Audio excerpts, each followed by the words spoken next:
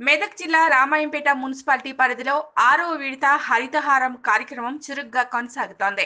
కామారెడ్డి జాతీయ రహదారి ఇరుపక్కల municipal chairman పల్లె జితేంద్ర గౌడ్ ఆధ్వర్యంలో వివిధ రకాల మొక్కలను నాటారు.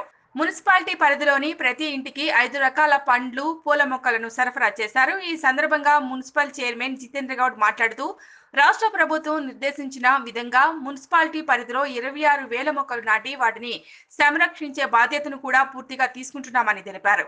ఈ కార్యక్రమంలో మున్సిపల్ చైర్మన్ పల్లె జితేంద్ర గౌడ్ టీఆర్ఎస్ నాయకులు కన్నాపురం కృష్ణగౌడ్ బాసం శ్రీనివాస్ మెట్టు యాదగిరి సులేటి దయాకర్ మున్సిపల్ సిబ్బంది ప్రసాద్ తదితరులు పాల్గొన్నారు.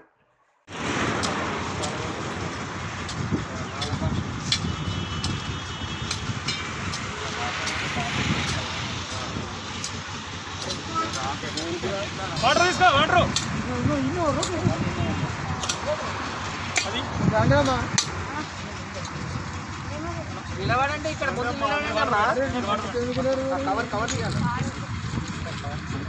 హరిత హారం భాగంగా కేసీఆర్ కేటీఆర్ పిలుపు మేరకు స్థానిక ఎమ్మెల్యే పద్మాదేవేంద్ర రెడ్డి ఆజ్ఞ మేరకు ఈరోజు నిజామాబాద్ రోడ్డులో సుమారుగా ఐదు వందల మొక్కలు నాటడం జరుగుతుంది. ఇరువైపులా ఈ మొక్కలు నాటడం జరుగుతుంది.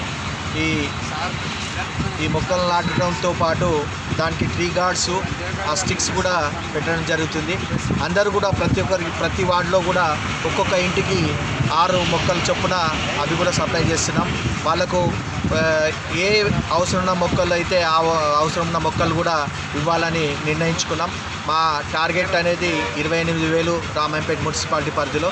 ఆ ఇరవై ఎనిమిది వేలు కూడా తప్పనిసరిగా పెడతామని తెలియజేసుకుంటూ జై తెలంగాణ.